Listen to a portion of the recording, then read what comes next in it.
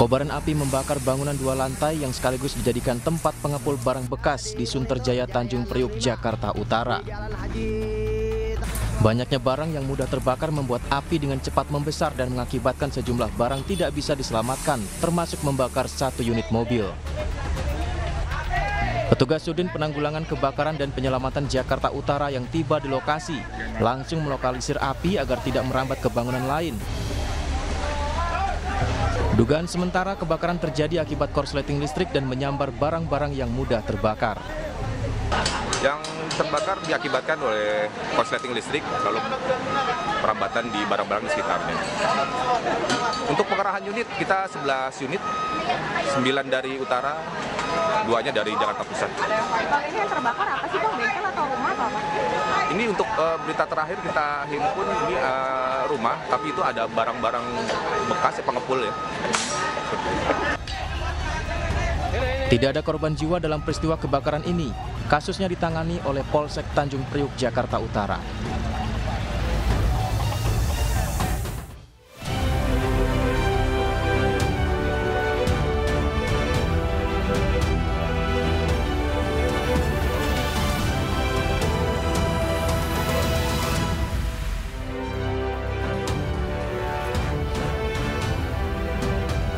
Halo selamat sore pemirsa demikian tadi berita pilihan iNews sore bersama saya Fazilah Kairodisa. Seorang anak perempuan di Deli Serdang, Sumatera Utara tega membakar habis rumah ibu kandungnya sendiri. Sang anak nekat melakukan hal tersebut lantaran tidak diberi uang untuk membeli narkoba.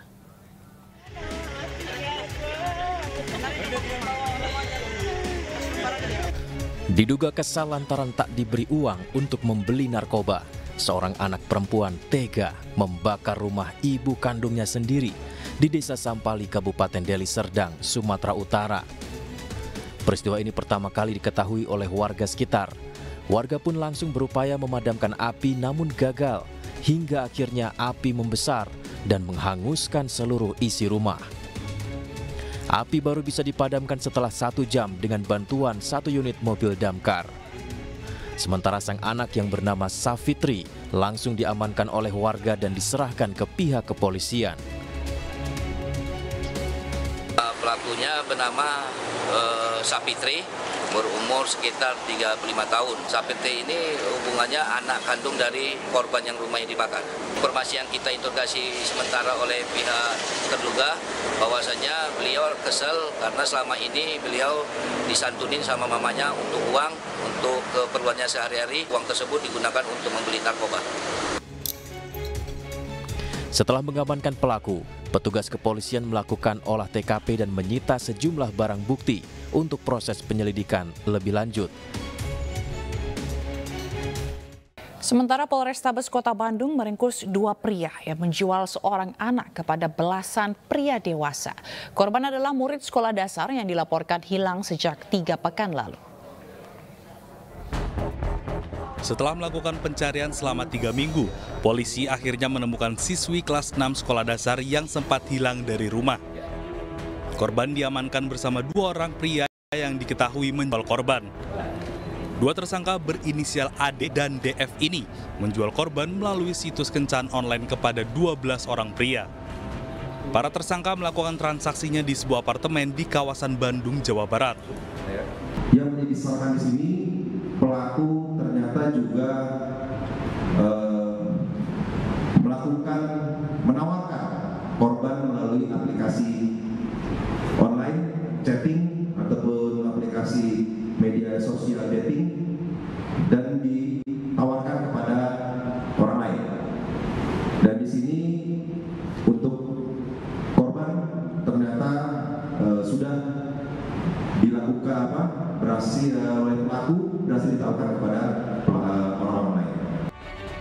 korban sempat dilaporkan menghilang setelah pamit berangkat ke sekolah. Selain menjual korban ke pria hidung belang, pelaku juga melecehkan korban. Saat ini korban mendapat pendampingan dari Unit Perlindungan Perempuan dan Anak Satreskrim Polrestabes Bandung. Sementara tersangka terancam hukuman 20 tahun penjara. Pemirsa seorang ayah di Kabupaten Kuningan, Jawa Barat tega menganiaya anak kandungnya hingga jari tangannya terluka. Usai menganiaya pelaku sempat kabur ke hutan.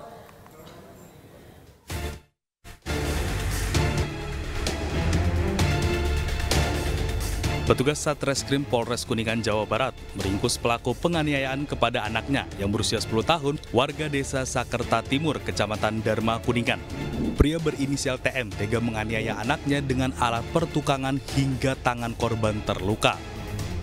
Ironisnya, TM juga melakukan tindak kekerasan terhadap buah hatinya sendiri. Dari hasil pemeriksaan, pelaku mengaku kesal lantaran korban diduga mengambil uang tetangganya.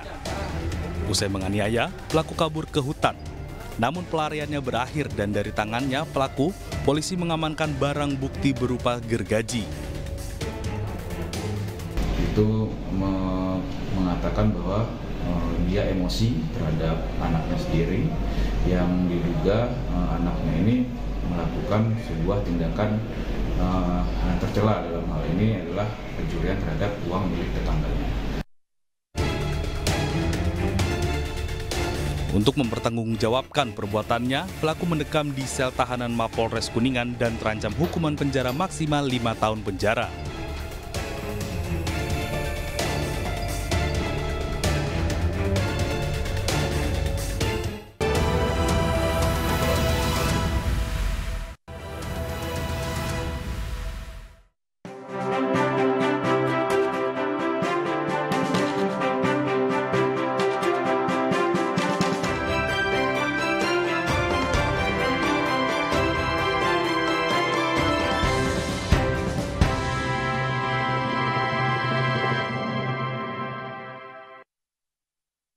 Acara ini dipersembahkan oleh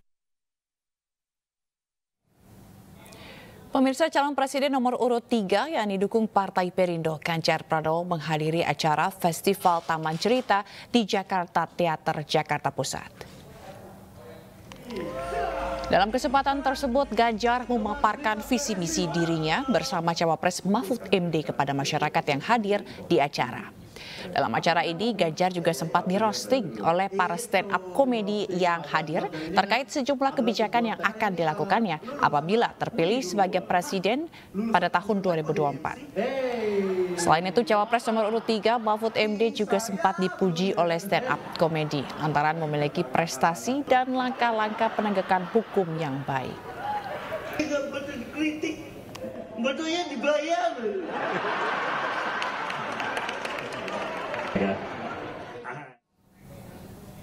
Sementara itu, Siti Atiko, istri Capres nomor urut 3 Ganjar Pranowo menghadiri diskusi dengan para pelaku UMKM di Lamongan, Jawa Timur. Dalam diskusinya, Atiko mengajak perempuan Indonesia untuk bisa lebih bermanfaat baik bagi keluarga dan negara.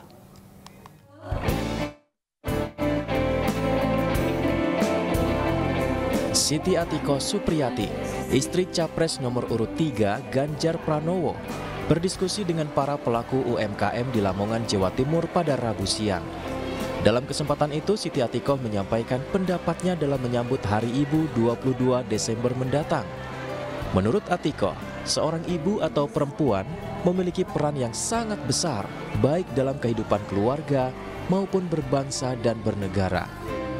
Siti Atikoh juga mengajak perempuan Indonesia untuk lebih berdaya sehingga bisa bermanfaat bagi orang lain serta menjalin kerjasama yang baik dengan anggota keluarga demi kebahagiaan. Tanggal 22 Desember itu disebut Hari Ibu? Itu ketika para perempuan melakukan kongres pertama di tahun 1928 di Jogja. Mereka ingin berkontribusi untuk mencapai kemerdekaan Indonesia, kepingin ada equality dari sisi pendidikan untuk perempuan, kemudian agar perempuan itu bisa terlindungi dari sisi kesehatan, yaitu kalau dulu itu angka kematian ibu melahirkan masih tinggi sekali. Nah, jadi uh, Hari Ibu bukan sekedar Mother's Day. Kalau Mother's Day itu berarti ibu kandung kita. Ya. Tapi ini adalah bagaimana peran perempuan itu bisa support perempuan yang lain agar mereka Selain berdiskusi dengan pelaku UMKM di Lamongan yang kebanyakan ibu-ibu, Siti Atiko juga membagikan sertifikat UMKM dari Badan Nasional Sertifikasi Profesi yang bisa dimanfaatkan bagi para pelaku UMKM di Lamongan untuk mengembangkan usahanya. Dari Lamongan, Abdul Wahid, iNews melaporkan. Calon Presiden nomor urut 1 Anies Baswedan menjalani hari kampanye ke-24 di Banten. Anies mengisi kuliah umum di Universitas Bina Bangsa Kota Serang. Dalam kesempatan ini, Anies berbicara terkait perubahan dari berbagai sisi keadilan kemakmuran rakyat, serta perubahan terkait pemenuhan kebutuhan pokok. Selain melakukan agenda kuliah umum, Anies juga mengisi safari politiknya dengan menemui simpatisan di Stadion Ciceri, Kota Serang.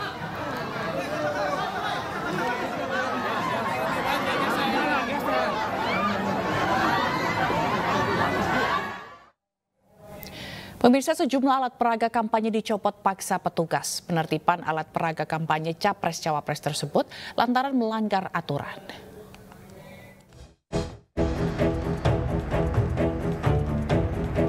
Tim gabungan menertibkan alat peraga kampanye atau APK yang melanggar aturan di kota Surakarta, Jawa Tengah lantaran dipasang di lokasi yang tidak pada tempatnya Kamis siang. Penertiban APK ini berdasar pada surat keputusan KPU dan peraturan wali kota yang masih berlaku. Namun justru APK Capres dan Cawapres nomor urut 2 yang paling banyak ditertibkan. Sementara Bawaslu menegaskan tidak ada tebang pilih terkait alat peraga kampanye yang ditertibkan. Untuk penertiban uh, eh, APK gabungan kali ini kan sudah di masa kampanye. Berbeda dengan dulu pada saat sosialisasi. Penertiban APK saat ini adalah yang melanggar ketentuan surat keputusan KPU Kota Surakarta nomor 121 terkait dengan titik-titik lokasi larangan uh, pemasangan APK seperti itu. Jadi itu nanti yang menjadi apa dasar kita. Selain itu juga terkait dengan Perwali 2 2009 yang masih berlaku.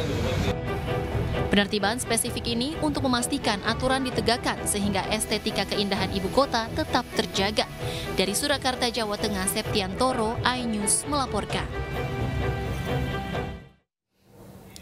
Sementara itu, Bawaslu Kabupaten Mojokerto menuntut Polda Jawa Timur minta maaf buntut tudingan atas baliho yang terpasang di atas pos polisi. Pos polisi.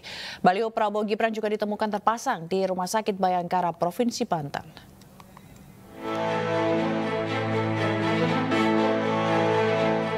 Kasus pemasangan baliho Capres Cawapres Prabowo Gibran di pos polisi Persimpangan Pacing Kabupaten Mojokerto beberapa waktu lalu berbuntut panjang. Badan Pengawas Pemilu Kabupaten Mojokerto mengecam dan merasa dirugikan dengan cuitan di media sosial X milik Humas Polda Jawa Timur. Dalam cuitan tersebut, Polda Jawa Timur mengklaim jika baliho paslon nomor urut 2 itu sengaja dipasang oleh Bawaslu Kabupaten Mojokerto. Akibatnya, hal itu viral di media sosial dan warganet menduga Bawaslu tidak netral dalam Pilpres 2024. Padahal Bawaslu Kabupaten Mojokerto tidak pernah memasang baliho tersebut dan menuntut Polda Jawa Timur meminta maaf secara terbuka. Atas tuduhan dari Humas Polda Jatim bahwa Bawaslu yang melakukan pemasangan ATK berbentuk baliho milik paslon calon nomor urut 2 yang terdapat di atas pos pantau Polisi lalu lintas di pertigaan Desa Pacing, Kecamatan Bangsal, Kabupaten Mojokerto ini, Bawaslu Kabupaten Mojokerto melalui Bawaslu Provinsi Jawa Timur meminta kepada Kepala Polda Jawa Timur atau Kapolda untuk satu meminta maaf secara resmi kepada Bawaslu Kabupaten Mojokerto Sebelumnya baliho Prabowo Gibran terpasang di atas pos polisi Persimpangan Pacing, Kabupaten Mojokerto. Baliho tersebut sempat viral di media sosial, hingga akhirnya Bawaslu Kabupaten Mojokerto menurunkan poster tersebut karena dianggap melanggar etik. Diam aja, ini di rumah sakit Bayangkara Polri nih, di pagarnya. Nih, nih, nih, nih, saya zoom nih, pelang rumah sakitnya nih. Sementara itu, baliho pasangan Prabowo Gibran juga ditemukan terpasang di Rumah Sakit Bayangkara Provinsi Banten. Diduga alat peraga kampanye ini dipasang oleh sayap relawan Prabowo Gibran. Poster spanduk itu terpasang di pagar dan dinding rumah sakit Bayangkara dan notabene-nya milik Polri. Dalam video yang beredar, perekam video ini meminta polisi, KPU, dan Bawaslu untuk menurunkan alat peraga kampanye tersebut. Puluhan ribu pemilih pemula dari kalangan anak sekolah SMA dan sederajat di Majalengka, Jawa Barat belum terdaftar di KPUD Majalengka. Dan untuk meningkatkan angka partisipasi pemilih muda, Pemkap Majalengka menyisir sekolah-sekolah.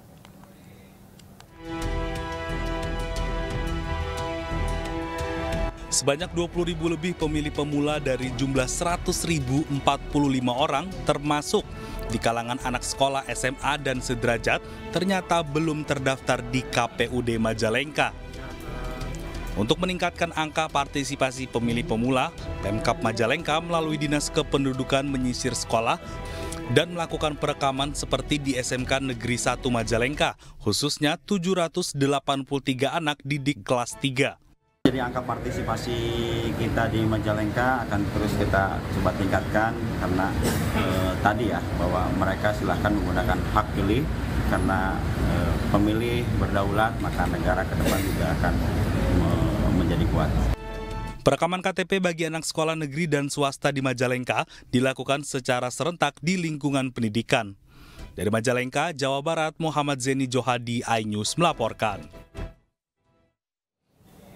Komisi Pemilihan Umum Banten atau Kabupaten Pandeglang Banten mulai merakit 18.759 kotak suara untuk pemilihan umum 2024 mendatang. Perakitan kotak suara ini ditargetkan selesai dalam waktu lima hari dengan melibatkan 10 pekerja dari warga sekitar.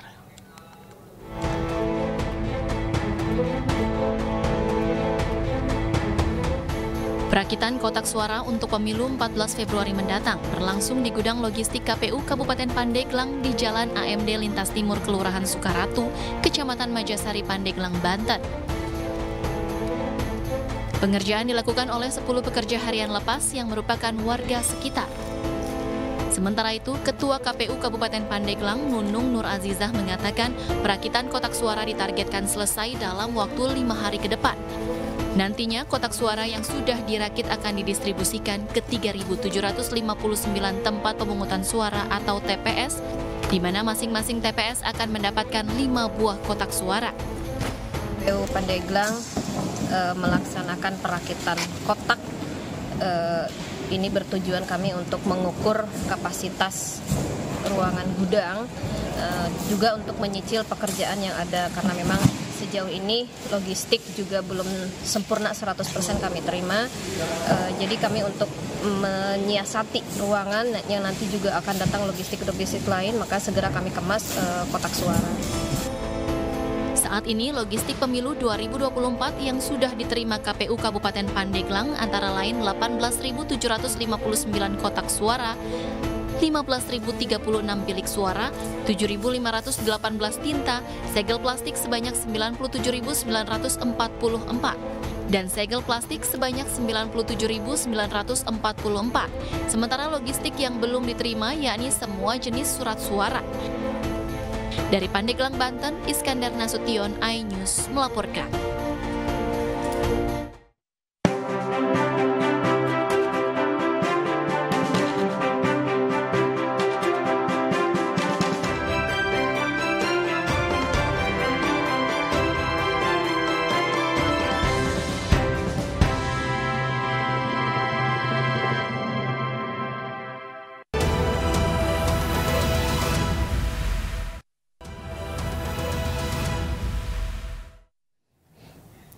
Pemirsa misteri penemuan empat jenazah yang merupakan satu keluarga di Musi Banyuasin, Sumatera Selatan hingga kini masih diselidiki. Dan untuk membahasnya, kami sudah terhubung dengan Kasih Humas Polres Musi Banyuasin, AKP Susianto. Selamat sore Pak Susianto.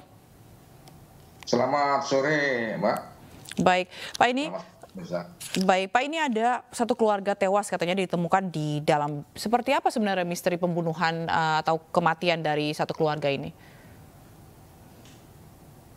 Jadi berkaitan kejadian adanya penemuan, awalnya penemuan mayat yang hmm. terjadi pada hari Rabu tanggal 20 Desember 2023 sekira pukul 14.00 WIB di tempat lokasinya di Dusun Bagan, Desa Rupatan 1, Kecamatan Sekayu, Kabupaten Musi Banyuasin. Jadi penemuan ini tidak sengaja karena hmm. kebetulan waktu itu ada anggota kita mungkin berteman dengan Pak Camat ingin mengecek lokasi lahan yang baru saja dibeli dari korban ini. dan waktu di TKP mereka mencium aroma tidak sedap. Hmm. Jadi karena pondok itu dalam keadaan terkunci, hmm. tidak ada orang, sehingga menyuruhlah salah seorang yang ikut juga di situ untuk hmm. mengintip di melalui celah-celah pintu dan terlihatlah ada seorang perempuan terkelungkup. Hmm. Jadi ditemukannya sama orang terdekat uh, korban gitu ya Pak. Tapi katanya sudah diotopsi Pak. Hasil hasil otopsinya seperti apa? Apakah banyak luka atau ini dugaan pembunuhan? Sementara untuk hasil otopsi sendiri belum keluar, hmm. tetapi secara kasat mata ada terlihat hmm. bekas sejak ke kekerasan. Hmm. Jadi indikasinya ada kekerasan sebelum korban meninggal dunia. Kekerasan itu seperti apa? Apakah menggunakan benda tajam atau seperti apa, Pak? Ada yang masih terlihat ada menggunakan senjata tajam, hmm? khususnya yang ditemukan pada jenazah yang anak atas nama Marcel. Jadi dari belakang itu ada bekas sabetan senjata tajam. Oke, jadi belum ada atau belum ditemukannya atau masih menunggu hasil otopsi begitu ya. Tapi katanya korban baru jual ya. tanah ya Pak ya. Kepada siapa korban ini jual tanah? Oh, itu itu yang beredar sekitar masyarakat memang -hmm. korban ada menjual tanah, tanah yang sekarang ditempati itu kebun sawit itu -hmm. dijual ke Pak Camat Sangat Desa itu yang pembelinya itu. Mm. Jadi sekitar sudah berapa bulan yang lalu gitu Pak. Oke, jadi nah, info kan saya itu uh -huh. cek dengan anggota itu ngecek lokasi itu, mm -hmm. ngecek lahan itu ternyata itu yang terjadi ditemukannya. Oh gitu, jadi belum ada keterangan mengenai penjualan tanah ini gitu ya? Belum, belum. Baik. Belum. Inti kami masih menyelidiki lah berkaitan dari mana, apakah berkaitan dengan masalah atau masalah hmm. apa. Intinya kami masih upaya untuk penyelidikan lebih mendalam. Baik. Perkiraan korban sudah tewas berapa lama, Pak? Apakah sebelumnya ada laporan dari pihak keluarga begitu? Tidak ada, Pak. Jadi hmm. makanya itu kebetulan aja ketemu. Saat ini hmm. ketemu mungkin hmm. lebih lama lagi karena tempatnya terpencil jauh dari permukiman. Hmm. Jadi perkirakan sudah tiga hari atau empat hari lebih lah okay. dengan korban meninggal dunia itu karena kondisi sudah membusuk tadi. Oke baik kalau dari hasil pemeriksaan uh, apa namanya dan lain-lain begitu ya Pak hingga saat ini adakah yang merujuk siapa terduga pelaku Pak? Yang jelas masih pengembangan ya mm -hmm. dari soal TKP. Mm -hmm. Yang jelas berkembang situ melakukan penyelidikan itu udah teknis penyelidikan. Mm -hmm. Intinya kami juga di backup oleh Polda, mm-hmm. dalam hari ini di Krim Um, mm. Jataras Polda Sumsel untuk melakukan pengungkapan kasus tersebut, Pak. Baik, tapi kalau dari ini pemeriksaan um, saat ini Pak, ada nggak sih Pak hal-hal yang mencurigakan gitu, baik di lokasi ataupun dari informasi-informasi saksi? Ya sementara masih gelap Pak, tapi hmm. dari indikasi adanya barang yang hilang, ya tentunya hmm. polisi akan melacak hmm. barang-barang terutama apalagi sepeda motornya dan sebagainya itu kan hilang. Tapi masalah uang masih belum termonitor karena tidak ada saksi saat kejadian. Oh baik, jadi barang-barang berharga korban juga ada yang hilang gitu ya Pak ya? Ada, tetapi belum hmm. jelas berapa banyaknya karena hmm. semuanya yang ada di rumah itu meninggal dunia. Oh. Jadi tidak ada saksi yang melihat. Baik, baik. Tentunya kita berharap semoga kasus ini menjadi semakin terang. Terima kasih Kasih Umas Polres Musi Banyu Asin, AKP Susianto telah bergabung di iNews Sore. Selamat sore, salam sehat selalu Pak.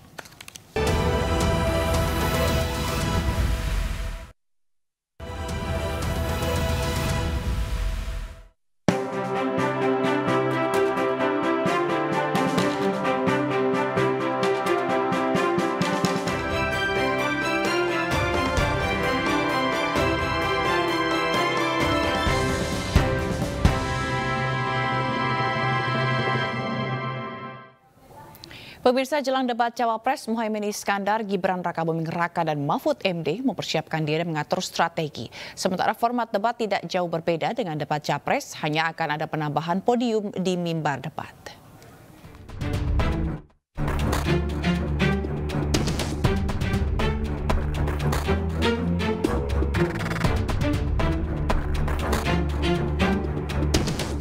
Jumat 22 Desember 2023, KPU akan menggelar debat calon wakil presiden pemilu 2024. Komisi Pemilihan Umum akan mempertahankan format debat calon presiden yang pertama untuk kembali digunakan pada debat calon wakil presiden. Ketiga cawapres yakni Muhaimin Iskandar atau Caimin, Gibran Rakabuming Raka, dan Mahfud MD diyakini telah mempersiapkan diri menyambut debat perdana cawapres. Sementara itu, format debat dinilai akan memberikan kesempatan lebih banyak kepada capres atau cawapres untuk mengungkapkan gagasan. Satu-satunya teknis debat yang diubah hanya penempatan podium untuk kandidat. Sekretaris TPN Ganjar Mahfud Hasto Kristianto berharap podium yang disediakan saat debat cawapres tidak disalahgunakan.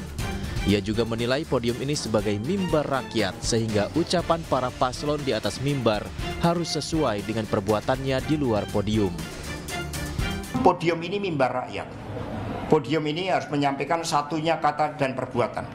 Kalau di podium tidak kalau di podium menyampaikan komitmen tidak melakukan korupsi, ya di dalam praktek tidak boleh melakukan uh, korupsi. Jangan itu menjadi suatu retorika. Jangan berkomitmen pada rakyat, tetapi ketika rakyat menghadapi kenaikan harga kebutuhan pokok rakyat, yang dilakukan para, Pak Prabowo malah menambah utang luar negeri sebesar 386 triliun untuk beli alutsista. Padahal perang yang kita hadapi adalah terhadap kemiskinan, terhadap kebodohan, terhadap ketidakadilan, bukan perang uh, dengan menggunakan senjata yang mematikan kemanusiaan. Itu bedanya. Pada debat Cawapres ada enam tema yang dibahas. Tema-tema tersebut adalah ekonomi kerakyatan dan digital, keuangan, investasi pajak, perdagangan, pengelolaan APBN APBD, infrastruktur, dan perkotaan. Tim Liputan iNews melaporkan. Dan untuk mengetahui suasana terkini di lokasi debat calon wakil presiden yang akan dilaksanakan besok, sudah ada rekan kami Anggita Maura yang saat ini berada di Jakarta Convention Center Senayan. Selamat sore Anggita, bagaimana uh, situasi di sana jelang persiapan uh, debat besok? Ya, selamat sore Zila dan juga pemirsa. Untuk debat untuk debat cawapres yang akan berlangsung esok hari dapat kami sampaikan bahwa saat ini pun memang masih dalam tahap penyelesaian. Karena memang benar untuk besok tanggal 22 Desember 2023 debat cawapres untuk pemilihan presiden 2024 akan digelar di tempat saat ini saya melaporkan di Jakarta Convention Center Senayan pada pukul 19.00 waktu Indonesia Barat.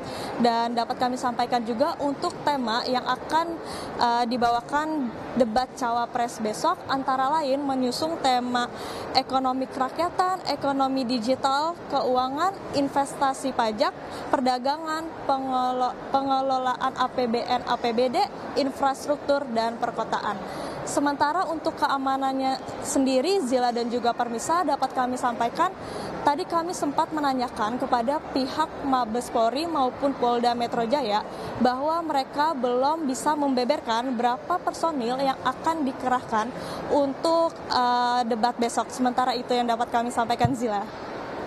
Baik, terima kasih Anggita atas laporan Anda langsung dari JCC Senayan Jakarta. Selamat bertugas kembali. Nah pemirsa lalu siapa dari ketiga cawapres ini yang paling luwes saat debat besok? Dan untuk membahasnya sudah bergabung bersama kami pakar komunikasi politik dari UIN Jakarta, Gun Gun Herianto. Selamat sore Mas Gun Gun. Selamat sore Sila. Ya, oke Mas Gun Gun. Baik.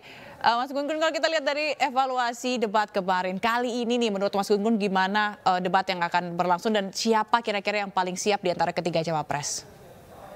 Iya, saya pikir semua ya dari hmm. tiga pasangan uh, calon, terutama cawapres-cawapresnya itu harus siap dengan topik-topik yang sebenarnya uh, harus membutuhkan data-data yang konkret, data-data yang verifikatif ya, seperti isu ekonomi kerakyatan, ekonomi digital itu, hmm. kemudian APBN, APBD gitu ya, itu kan butuh sekali verifikasi data. Oleh karena itu maka bicara misalnya aspek keuangan, bicara hmm. soal investasi, itu tidak bisa mengawang, harus membumi, ya, okay. terutama misalnya dengan data-data faktual yang bisa kemudian menjelaskan kepada halayak soal knowledge mereka, termasuk juga soal infrastruktur dan perkotaan.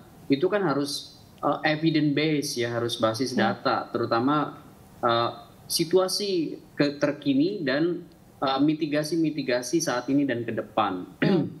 Kita misalnya bicara soal gagasan inovatifnya seperti apa, terobosan-terobosan seperti apa, dan posisi atau standpoint mereka untuk uh, lima tahun ke depan ya sebagai pemimpin bangsa ini itu seperti apa begitu. Nah kalau bicara soal um, as, aspek uh, mereka yang akan kemudian tampil, tentu selain kemampuan retorika ya, karena bicara soal knowledge atau uh, sebut aja itu yang disebut dengan uh, logosnya ya logos itu basis uh, pengetahuannya itu juga harus mampu kemudian membangun yang disebut emotional appeal ya dengan dengan audiens ya dengan audiens yang ada di lokasi juga emotional appeal dengan uh, pemirsa yang menonton mereka dari halayak da- dari televisi atau media lainnya. Baik. Um, Oke. Baik, baik, Mas Gun, kalau misalnya dari dari apa namanya eh, tim pemenangan begitu ya mengklaim bahwa kalau kita lihat evaluasi debat kemarin, debat ini tidak menentukan begitu ya. Tapi kita rasa debat ini juga akan melihat kualitas dari si eh, calon sendiri. Menurut Mas Gun Gun, seberapa signifikan debat ini untuk mengangkat elektabilitas dari eh, calon-calon ini dan juga mempengaruhi para pemilih? Karena kalau kita lihat Mas Gun Gun juga undecided voters juga masih banyak gitu ya. Persis apa yang disampaikan Sila itu benar bahwa undecided voters itu sekarang masih tinggi 28 persen. Ya. Artinya apa? Eh, jangan kemudian underestimate dengan debat yang lima kali berlangsung begitu. Kenapa? Karena akan mempengaruhi dua hal. Pertama dinamika opini publik yang berkembang dari macam-macam ragam kanal-kanal komunikasi warga. Kemudian eh, amplifikasi isu atau eh, persoalan yang kemudian multi platform itu tentu pada akhirnya akan merankingkan isu yang ada di halayak.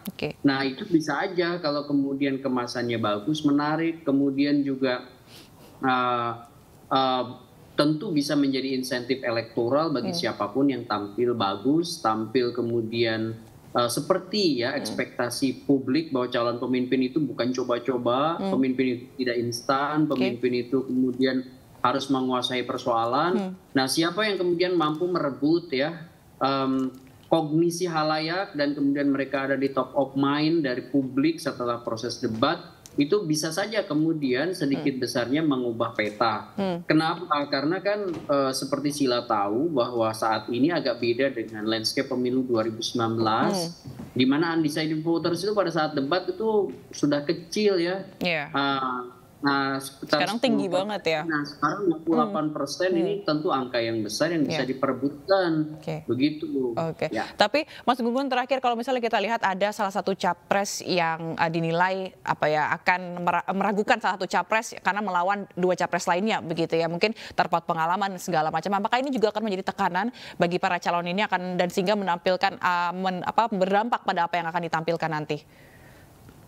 Ya menurut saya uh, memang kan banyak orang sekarang menunggu nih posisi uh, kemampuan, kemudian manajemen forum, Ya. kemudian basis uh, penguasaan masalah dari cawapres. Cawapres itu bukan orang yang tidak menentukan. Ini karena pen- model di kita kan pendaftaran juga duit duit tunggal, jadi mereka itu tidak terpisahkan Hmm. ya dengan peran dan fungsinya. Jadi kalau cawapres tidak misalnya menguasai persoalan, tentu layak ada pertanyaan dari publik seberapa uh, memiliki misalnya visi dan orientasi pemecahan masalah ke depan sebagai problem solver. Hmm. Nah, saya sih melihat tentu berharap ya misalnya apakah jadi tekanan misalnya pada orang yang kan sekarang ini kan jarang hadir misalnya di debat-debat cawapres gitu ya atau debat-debat calon presiden dan wakil presiden. Nah, tentu ini pembuktiannya nanti di uh, besok itu. Jangan sampai kemudian asumsi itu benar bahwa misalnya apa namanya penguasaan masalah uh, bukan hanya sekedar retorika penguasaan masalah yang substantif itu kemudian uh, tidak misalnya seperti harapan publik. Nah, ini yang kemudian besok dialektika dibutuhkan. Bukan hanya kembang-kembang kata, diksi begitu tapi lebih pada substansi penguasaan persoalan.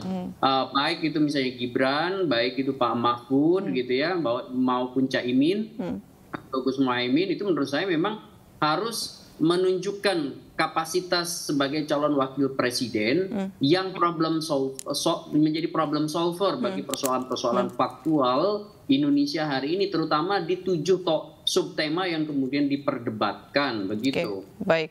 Baik, tadi Mas Gun Gun juga bilang bahwa uh, isi atau solusi dari uh, para cawapres yang disampaikan uh, nanti pas saat debat ini juga akan mempengaruhi begitu ya si uh, para voters ini. Tapi apakah hanya isi atau substansi dari uh, visi misi yang disampaikan? Bagaimana dengan gaya penyampaian? Karena kalau kita lihat ekonomi berhubungan dengan anak muda, undecided voter juga banyak sekali uh, milenial begitu. Apakah gaya penyampaiannya juga ini penting untuk dipikirkan begitu, Mas Gun Gun? Ya, ten ya tentu yang namanya hmm. debat itu kan paket lengkap hmm. sebenarnya hmm. Hmm. mulai dari misalnya penguasaan forum atau manajemen forum hmm.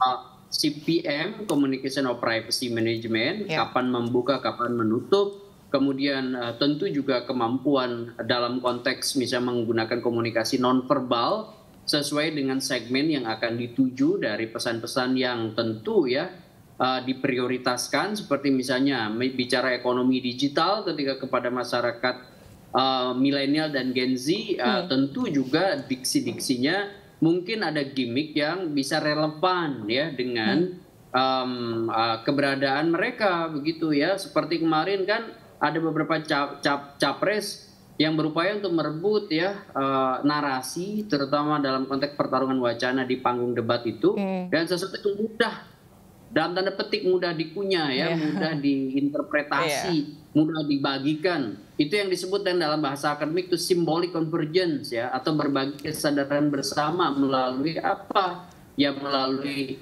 diksi dan uh, bahasa tubuh uh, atau yang disebut dengan non verbal hmm. message yang itu hmm. kemudian relevan dengan segmen-segmen yang dituju dari pesan yang bersangkutan. Oke. Okay.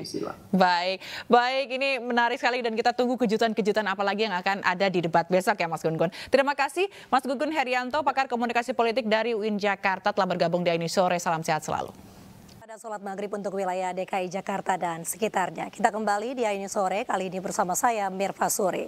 Pemirsa Forum Umat Islam Bersatu gelar aksi unjuk rasa di depan gedung Mabes Polri Kebayoran Baru, Jakarta Selatan. Mereka mendesak Polri menangkap Menteri Perdagangan Zulkifli Hasan karena didilai telah menistakan agama. Zulkifli Hasan yang dianggap penista agama Forum Umat Islam menggelar aksi unjuk rasa di depan gedung Museum Mabes Polri Trunojoyo, Jakarta Selatan. Dalam orasinya, masa meminta kepada Kapolri untuk segera menangkap Menteri Perdagangan Zulkifli Hasan karena dinilai telah menistakan agama. Selain menggelar aksi unjuk rasa, rencananya Forum Umat Islam Bersatu akan melaporkan Ketua Umum Partai Amanat Nasional ke Bares Krim Polri.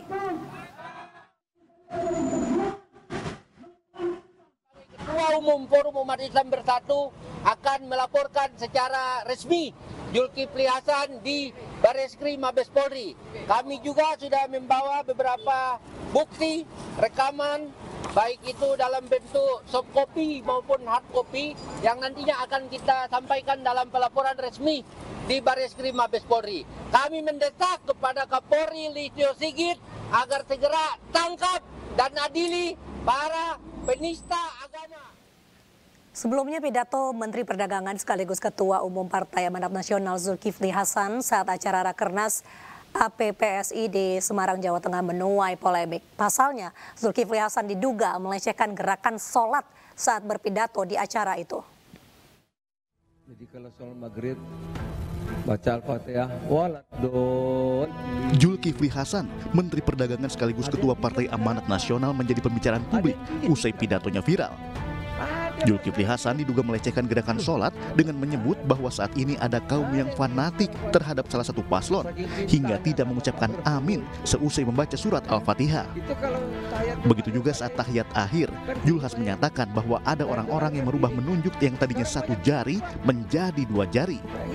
Hal ini diucapkan Julhas saat membuka Kernas Asosiasi Pedagang Pasar Seluruh Indonesia APPSI di Semarang, Jawa Tengah selasa kemarin. Akibat ucapannya tersebut, Wakil Sekjen MUI bidang hukum dan HAM menyayangkan sikap seorang pemimpin yang menjadikan ibadah sebagai bahan candaan. Janganlah dibuat candaan hal-hal yang sakral seperti gerakan dan ucapan uh, sholat karena sholat itu ibadah utama atau ibadah makhluk yang diyakini tata cara dan kebenarannya oleh umat Islam karena sama sekali tidak ada korelasi gerakan sholat dan lafaz. Amin. Setelah membaca imam membaca surat al-fatihah selesai. Itu dengan pemilu ataupun calon presiden tertentu. Jadi tidak ada korelasinya. Jadi jangan dijadikan candaan. Dan pemimpin juga sebagai teladan dari masyarakat tentu harus dapat memilih ucapan, diksi dan candaan yang cerdas ya. Ya Pak Juhal, Pak Julhas itu memberikan teladan untuk meluruskan bahwa itu tidak benar. Bukan kemudian beliau menyampaikan kembali ke forum-forum yang seakan-akan itu menjadi komoditas untuk sebuah campaign. Nah ini kan sama dengan mengeksploitasi ibadah apalagi itu ibadah makdo ya, ibadah yang utama. Untuk candaan yang tujuannya adalah untuk kepentingan tertentu. Nah, ini kan biar nanti akan dipelajari, akan disampaikan pandangannya oleh ahli bahasa dan lain-lain. Bahwa ada niatan atau tidak di situ. Sementara pakar hukum Universitas Pancasila juga menyampaikan seharusnya seorang tokoh tidak boleh menabrak rambu hukum. Karena ini menjadi satu pembelajaran bagi uh, masyarakat, apalagi ini bagi uh, tokoh ya, bagi pemimpin. Ketika kemudian menyampaikan satu pendapat, menyampaikan satu gagasan, menyampaikan pandangannya, tidak boleh kemudian menabrak rambu-rambu hukum ya. Bahkan yang namanya uh, apa etika saja tidak boleh, apalagi ini menabrak hukum. Saya pikir tidak boleh dilakukan ya. Apalagi nanti ini pasti akan mencederai uh, apa namanya umat Islam ya. Saya pikir tidak perlulah ini ya. Kalau menurut saya tidak perlu dilakukan oleh seorang tokoh. Nah, oleh karena itu ya tidak ada salahnya kalau saya ya mencermati dalam kaitannya dengan hal ini ya proses uh, hukum biarlah berjalan sebagaimana mestinya. Nanti penyidik akan uh, kemudian uh, melanjutkan atau tidak melanjutkan kan urusannya uh, apa namanya aparat penegak hukum. Kan oleh uh, Pak Julhas itu mestinya itu tidak boleh dilakukan oleh seorang uh, pemimpin ya. Itu Baik. saya kira yang bisa saya sampaikan ya berkaitan dengan uh, bagaimana persoalan uh, hal ini ya yang kemudian di um, berkaitan dengan soal soal hukum hukum pidana memang sudah memberikan satu apa namanya uh, wadah ya ke, bagi Baik. mereka yang kemudian melakukan satu perbuatan yang dikualifikasi uh, melanggar apa norma yang dinamakan dengan Baik. penistaan agama maka ini bisa saja diberikan satu uh, sanksi. Selain itu, Forum Umat Islam Bersatu berencana melaporkan Zulkifli Hasan ke Baris Kempori dengan dugaan penistaan agama. Tim Liputan iNews melaporkan. kan gini.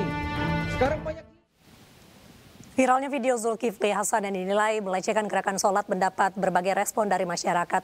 Masyarakat menilai candaan agama tak pantas dilakukan oleh seluruh warga negara Indonesia, terlebih bagi para pemimpin di negeri ini. Saya sih uh, nggak nggak etis saja ya untuk untuk membahas uh, agama apalagi di uh, sedang rapat seperti itu. Udah itu ada ada para para petinggi juga kan kalau bagi saya ibadah ibadah ibadah itu masing-masing. Tidak perlu dipublikkan apalagi yang masalah tahiyat akhir kan.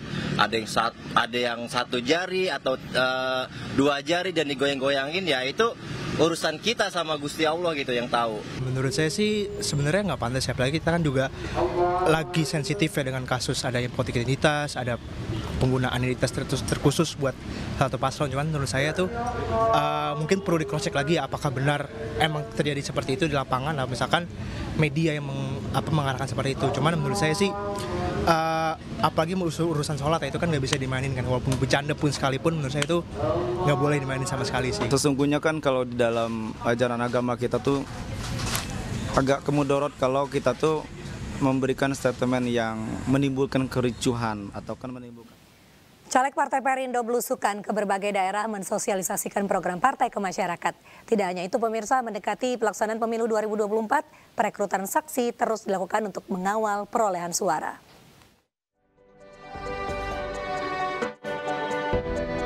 Ketua DPP Partai Perindo bidang keagamaan sekaligus caleg DPR RI Dapil Jabar II Abdul Holik Ahmad belusukan ke wilayah Cemenyan, Kabupaten Bandung. Abdul Holik yang didampingi sejumlah caleg Partai Perindo bersilaturahmi dengan masyarakat.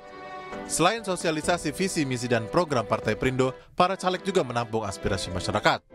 Kami juga memohon doa dan dukungan dari warga eh, Mekar Manik untuk bisa memberikan eh, dukungan yang tulus kepada kami sehingga pada tanggal 14 Februari 2024 yang akan datang eh, warga masyarakat eh, Mekar Manik ini bisa berbondong-bondong ke TPS kemudian memilih kami bertiga. Sementara itu, Sekjen DPP Partai Perindo Ahmad Rafiq hadir dalam rapat koordinasi pemenangan bersama DPP, DPW, dan DPD Partai Perindo sekota dan kabupaten di Jawa Barat di kantor DPW Partai Perindo Jawa Barat di kota Bandung. Rakor yang dipimpin Ketua DPP Partai Perindo Bidang Keagamaan Abdul Holik Ahmad ini membahas percepatan persiapan saksi TPS untuk diterjunkan di 140 ribu TPS di 11 dapil Jawa Barat.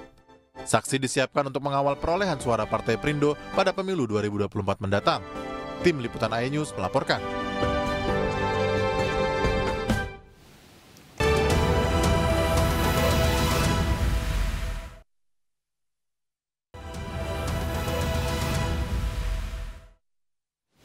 Pemirsa jelang debat Cawapres Muhaimin Iskandar, Gibran, Raka Buming Raka, dan Mahfud MD mempersiapkan diri mengatur strategi. Sementara format debat tidak jauh berbeda dengan debat Cawapres, hanya akan ada penambahan podium di mimbar debat.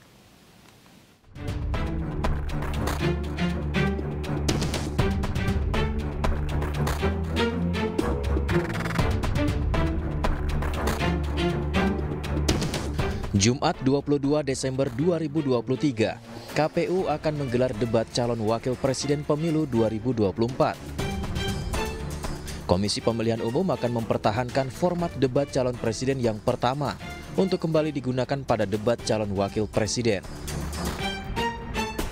Ketiga cawapres yakni Muhaimin Iskandar atau Caimin, Gibran Rakabuming Raka, dan Mahfud MD diyakini telah mempersiapkan diri menyambut debat perdana cawapres. Sementara itu, format debat dinilai akan memberikan kesempatan lebih banyak kepada capres atau cawapres untuk mengungkapkan gagasan. Satu-satunya teknis debat yang diubah hanya penempatan podium untuk kandidat. Sekretaris TPN Ganjar Mahfud Hasto Kristianto berharap podium yang disediakan saat debat cawapres tidak disalahgunakan.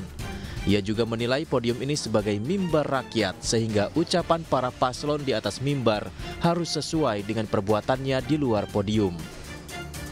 Podium ini mimbar rakyat. Podium ini harus menyampaikan satunya kata dan perbuatan. Kalau di podium tidak kalau di podium menyampaikan komitmen tidak melakukan korupsi, ya di dalam praktek tidak boleh melakukan uh, korupsi. Jangan itu menjadi suatu retorika. Jangan berkomitmen pada rakyat, tetapi ketika rakyat menghadapi kenaikan harga kebutuhan pokok rakyat yang dilakukan para Pak Prabowo malah menambah utang luar negeri sebesar 386 triliun untuk beli alutsista. Padahal perang yang kita hadapi adalah terhadap kemiskinan, terhadap kebodohan, terhadap ketidakadilan, bukan perang uh, dengan menggunakan senjata yang mematikan kemanusiaan. Itu bedanya.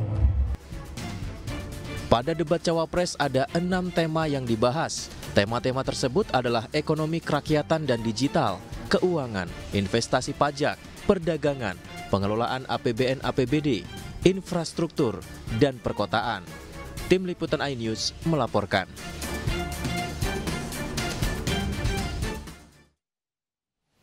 Satu hari jelang debat Cawapres, Komisi Pemilihan Umum memastikan format debat Cawapres tidak berbeda dengan debat Capres. Debat akan dibagi enam segmen, pada segmen 4 dan 5 Cawapres akan saling mengajukan pertanyaan. Debat yang kedua, rangkaiannya sama dengan debat yang pertama, durasinya total 150 menit, di dalamnya yang full untuk debat, yang ditayangkan itu 120 menit, dan kemudian 30 menit untuk jeda iklan. Pelaksanaan debat yang kedua juga masih sama dengan debat yang pertama, meliputi 6 segmen. Segmen yang pertama adalah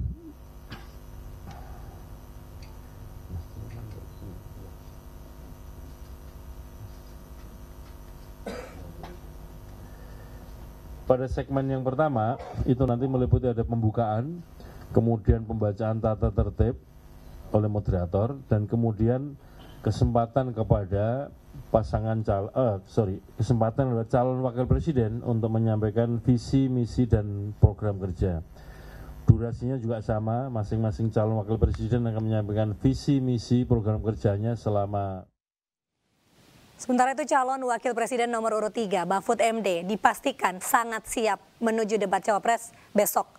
Menurut tim kampanye TPN, Mahfud MD merupakan sosok yang sangat berpengalaman dan terbiasa dalam berdiskusi. Ini penting sekali karena bicara soal bonus demografi akan banyak penduduk dan uh, berusia muda yang akan membutuhkan lapangan pekerjaan. Jadi kalau kita punya populasi yang terus bertumbuh tapi ekonominya tidak cukup cepat, penghasilannya tidak cukup cepat bertumbuh juga, yaitu kita kan bukannya mendapatkan bonus, tapi bencana malah petaka demografi. Nah itu kenapa penting sekali untuk pemimpin Indonesia berikutnya punya pengalaman dan rekam jejak yang teruji. Dan punya pemikiran-pemikiran yang sudah siap untuk kita eksekusi gerak cepat satset. Nah kalau soal adu gagasan besok, Prof. Mahfud sudah banyak pengalaman selama juga datang ke berbagai rapat di DPR RI, rapat-rapat kabinet sudah eh, siap untuk uh, memaparkan ide-idenya dan juga untuk menelisik lebih jauh dari gagasan kita beralih ke informasi di mana Bandara Soekarno-Hatta mulai dipadati penumpang domestik jelang libur Natal dan Tahun Baru. Tercatat 157 ribu penumpang bepergian melalui Bandara Soekarno-Hatta ke sejumlah kota di tanah air.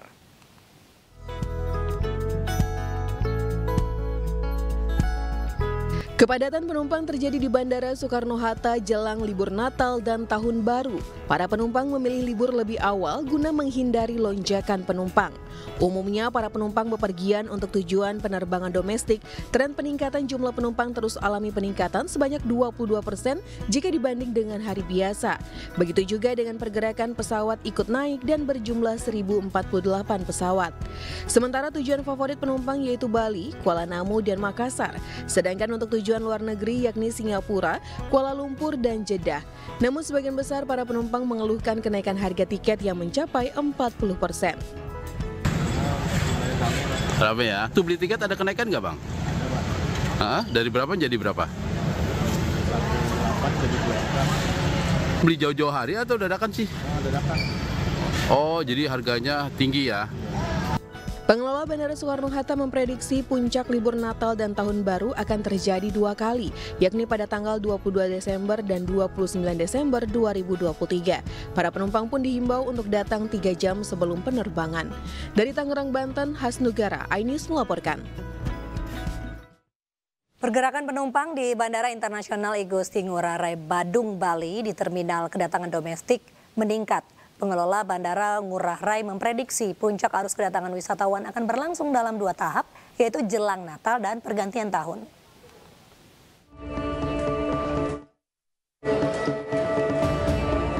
Bandara Internasional Igusti Ngurah Rai Badung Bali dipadati ribuan wisatawan domestik jelang libur Natal dan Tahun Baru.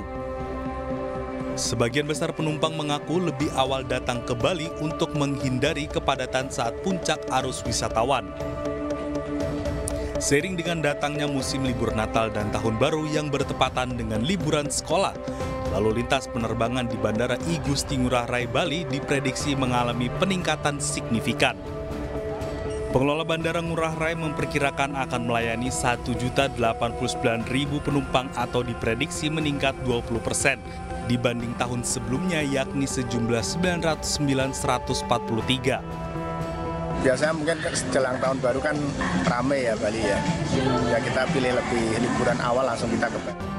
Pergerakan pesawat udara pun meningkat 43 persen dari 6.079 menjadi 8.674 pergerakan pesawat udara yang dilayani pada periode Nataru 2023 secara total di masa posko ini sekitar 20 persenan dari 909 ribuan di tahun lalu 2022 itu sampai di 1 juta 900 di tahun lalu. Itu perkiraan kami karena memang ada pertumbuhan dari jumlah penerbangan yang ada saat Berdasarkan data kinerja operasional Bandara I Gusti Ngurah Rai hingga bulan Desember, Terdapat 18 rute domestik berjadwal yang dilayani 11 maskapai dan 29 rute berjadwal internasional yang dilayani oleh 34 maskapai. Dari Badung, Bali, Bagus Alit, iNews melaporkan.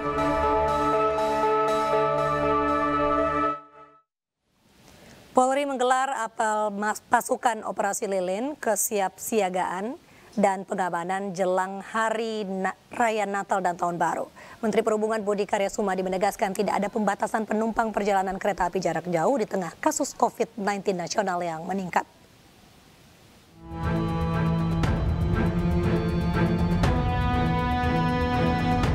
Polri menggelar apel kesiapan siagakan dan pengamanan jelang Hari Raya Natal dan Tahun Baru. Menteri Perhubungan Budi Karya Sumadi turut hadir guna memperkuat kinerja petugas. Dengan menggandeng tim SAR serta petugas kepolisian, TNI dan PT KAI memberikan pembekalan penyelamatan penumpang jika terjadi insiden. Melalui simulasi, petugas harus siap siaga menghadapi situasi darurat seperti gerbong kereta terbakar hingga upaya penyelamatan penumpang.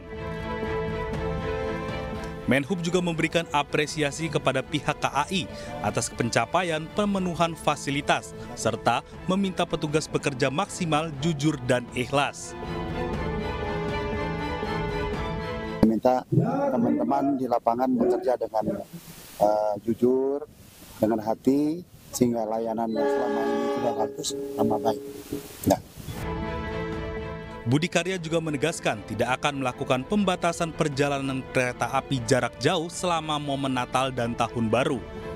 Di tengah lonjakan kasus COVID-19 nasional, para penumpang diimbau memakai masker dan menerapkan protokol kesehatan. Dari Jakarta, Raniston Sanjaya, iNews melaporkan. Presiden Joko Widodo meletakkan batu pertama pembangunan Rumah Sakit Umum Pusat di Ibu Kota Nusantara di Penajem Pasar Utara, Kalimantan Timur. Saat ini ada empat rumah sakit yang dibangun di IKN, tiga di antaranya milik swasta. Resmi saya nyatakan dimulai. Presiden Joko Widodo kembali ke ibu kota Nusantara di Penajem Pasar Utara, Kalimantan Timur untuk melakukan peletakan batu pertama Rumah Sakit Umum Pusat atau RSUP. Dengan pembangunan RSUP, kini total terdapat empat rumah sakit di IKN yang dibangun. Tiga di antaranya merupakan rumah sakit swasta. Jokowi menerangkan pemerintah menerima banyak komitmen pembangunan rumah sakit di ibu kota Nusantara. Saya nggak tahu di ibu kota Nusantara ini kok berbondong-bondong orang mendirikan rumah sakit. Ini nanti mestinya kalau sudah jadi semuanya tidak ada lagi masyarakat kita yang pergi ke Malaysia, ke Singapura, ke Jepang untuk ke Amerika untuk kesehatannya. Rumah sakit pemerintah yang mulai dibangun ini akan terkonsentrasi pada penyakit jantung dan stroke. Tim Liputan iNews melaporkan. Ya pemirsa untuk membahas lebih lanjut terkait Rumah Sakit Indonesia yang kini diduduki tentara Israel, sudah bergabung bersama kami Ketua Presidium Mercy, Bapak Sarbini Abdul Murad. Selamat sore waktu Indonesia, Bapak Sarbini. Bisa diceritakan selamat sore, Mbak Ya, selamat, selamat sore, sore, Pak. Bisa diceritakan kembali Pak kondisi terkini Rumah Sakit Indonesia di Gaza setelah dijadikan markas oleh tentara Israel? Ya kita sebenarnya agak kaget mbak, walaupun kita awalnya memperkirakan juga bahwa ini akan akan ada arahnya ke sana, ada indikasinya ke sana. Mm-hmm. Nah setelah kita mendapatkan info dari teman-teman di, di utara dan mereka menceritakan kepada kami bahwa terjadi pengalih fungsian rumah sakit di Indonesia dari rumah sakit menjadi barak militer atau markas IDF, IDF dan itu sudah berlangsung selama dua minggu Nah kemudian kami katakan pada teman kami itu coba anda foto sebagai bukti buat kami. Tapi dia katakan bahwa itu tidak mungkin kami lakukan karena ini berbahaya bagi jiwa kami. Tapi saya pikir bahwa ini informasi yang yang valid dan ini sangat uh, saya pikir sangat melukai ya melukai uh, perasaan rakyat Indonesia di mana kita ketahui bahwa selama uh, selama apa selama rumah sakit ini berfungsi kita melihat bagaimana banyaknya warga Gaza yang terbantu dengan hadirnya rumah sakit Indonesia. dan betapa heroiknya uh, rakyat Indonesia mendukung rumah sakit Indonesia. Jadi pada hari ini apa yang dilakukan Israel ini adalah sesuatu hal yang sangat melukai perasaan rakyat Indonesia. Dan kita ketahui sebelumnya bahwa sekitar tanggal 6 November itu juru bicara Israel telah menuduh menuduh secara serius bahwa rumah sakit Indonesia ini ada terowongan dan ada markas Hamas di situ. Nah sekarang terbukti bahwa setelah rumah sakit Indonesia tidak ditemukan terowongan, malah sekarang Israel menempatkan uh, tentaranya itu menjadikan barak atau markas uh, markas tentara di rumah sakit Indonesia. Ini tuduhan yang menurut kami termakan dengan kata-kata sendiri. Dan kita ketahui bahwa ini terjadi karena memang Israel uh, agak kewalahan menghadapi pejuang-pejuang Palestina. Jadi tidak ada tempat yang aman buat mereka untuk bisa bersembunyi dari serangan-serangan sporadis yang dilakukan oleh pejuang-pejuang Palestina. Maka oleh sebab itu mereka menggunakan rumah sakit di Indonesia sebagai sebagai tameng ya, sebagai tameng sebagai perisai uh, agar uh, mereka terhindar dari serangan-serangan sporadis yang dilakukan oleh pejuang-pejuang uh, Palestina yang sama-sama kita tahu bahwa banyak betul uh, tentara IDF yang yang tewas karena sergapan-sergapan atau serangan-serangan rudal yang dilakukan oleh oleh tentara-tentara pejuang Palestina. Nah, oleh sebab itu ini adalah upaya-upaya atau cara-cara yang tidak elegan ya, cara kotor yang dilakukan Israel dengan dengan menjadikan menjadikan rumah sakit Indonesia sebagai mm-hmm. sebagai tameng. Nah, oleh sebab itu kita juga minta kepada WHO agar mengirimkan tim investigasi lah, ada tim investigator yang yang uh, meminta kepada Israel agar tidak menggunakan rumah sakit sebagai perisai tameng. Ya ini kan harus dikembalikan fungsinya sebagai rumah sakit ya fungsi pelayanan di mana pada hari ini rumah sakit sangat dibutuhkan oleh warga Gaza. Kira-kira gitu pada kami. Iya. Baik, Pak Sarbini, kalau kita melihat berarti sudah dua minggu diduduki oleh tentara Israel, lalu bagaimana dengan tenaga kerja dan pasien di rumah sakit Indonesia di Gaza yang terpaksa dievakuasi? Ini kan sebelum gencatan senjata tanggal 22 ya Mbak ya, kalau salah mm -hmm. 22 atau 23 itu. Itu semua itu di, dievakuasi termasuk tiga relawan kita ketika itu dievakuasi ke ke Khan Yunis. Itu rata-rata rata-rata dievakuasi ke, ke rumah sakit yang ada di selatan.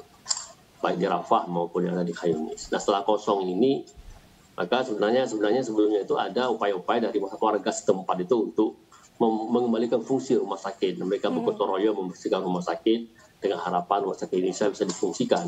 Karena rumah sakit Indonesia rumah sakit yang yang menurut mereka ini rumah sakit yang sangat lengkap yang bisa difungsikan dan dengan hanya beberapa apa beberapa alat mungkin bisa diganti atau diperbaiki. Nah, tapi yang terjadi setelah itu eh, tentara saya mengusir semua tenaga-tenaga apa pembersih pembersih yang yang membersihkan rumah sakit, mensapam yang rumah sakit semua mereka usir dan mereka menduduki sehingga uh, menjadi benteng mereka. Nah, kita ketahui bahwa rumah sakit ini sangat sangat strategis, letaknya di tengah-tengah, itu kan. Kalau dengan empat lantai dan kalau lantai keempat itu mereka bisa memantau sekitar rumah sakit itu, itu bebas dengan pantauan itu. Jadi bisa jadi juga itu mereka uh, apa sebagai uh, mengintai ya, mengintai gerakan-gerakan pejuang-pejuang Palestina.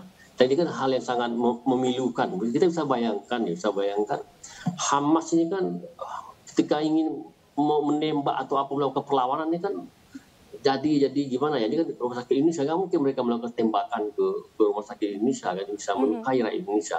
Walaupun banyak netizen yang yang yang minta agar itu dia dia, dia jangan apa jangan di jangan dikait-kaitkan lah kalau memang itu harus dilakukan dilakukan. Tapi tapi ini, ini strategi ataupun cara-cara saya tidak benar menurut kami ya. Tidak benar menjadikan rumah sakit sebagai tameng. Oleh sebab itu kita minta kepada WHO dan kami pun akan membuat surat ke WHO agar ini harus hmm. dipikirkan agar dikeluarkan Israel dari rumah sakit Indonesia. Berarti ada harapan kepada WHO ya Pak. Tapi sepertinya kita ketahui bahwa rumah sakit Indonesia di Gaza ini bukan satu-satunya yang sempat dijadikan markas oleh tentara Israel. Ada beberapa rumah sakit lain. Berarti fungsi dari rumah sakit itu diambil alih. Nah, menurut Bapak ada kemungkinan bisa berfungsi kembali? Ya, ini tergantung itu itu kan secara, secara umumnya mbak. Secara umum kan hmm. bisa fungsi ini kan tergantung gencatan senjata ya. Kalau misalnya gencatan senjata permanen ini ya kita kita harapkan kan. Kita tadi ketemu sama diplomat-diplomat Amerika, kita kita juga minta kepada mereka agar agar uh, membicarakan dengan Joe Joe Biden presiden Amerika agar Amerika secara proaktif untuk bisa mendekan uh, mendekan Israel agar dilakukan dilakukan gencatan senjata permanen. Nah, gencatan gencatan senjata permanen inilah yang bisa mengembalikan fungsi semua rumah sakit yang ada di Gaza, bisa memulihkan, merehabilitasi bangunan ataupun institusi sekolah misalnya. Ini sama semua satu, Mbak. Salah satunya cara adalah uh, genjatan secara permanen. Ini yang yang harus diperjuangkan. Maka tadi kita diskusi dengan PD Perumahan Amerika untuk kita, kita sarankan agar Amerika harus ber, ber, bertindak tegas dan cepat karena untuk menyelamatkan peradaban. Ini kalau terlambat nih ada satu peradaban yang memang akan terancam untuk hilang. Kita lihat bahwa korban-korban anak-anak yang tidak berdosa ini keberjatuhan. Jadi siapa pun ya orang yang punya hati itu bisa melihat bahwa ini udah memang memang arahnya ke genocide ini. Ini siapa pun orang bisa pahami itu. Itu yang kita diskusi sama teman-teman di yang diplomat Amerika tadi. Jadi kita mengharapkan anda harus cepat melakukan sesuatu untuk menyelamatkan sejarah. Jangan sampai sejarah itu menyalahkan Anda nantinya. Baik, terima kasih Bapak Sarbini Abdul Murad selaku Ketua Presidium Mercy sudah membagikan waktunya bersama kami di iNews sore.